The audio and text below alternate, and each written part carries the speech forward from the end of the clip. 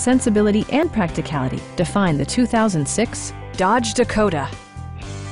It features a standard transmission, four-wheel drive, and a refined six-cylinder engine.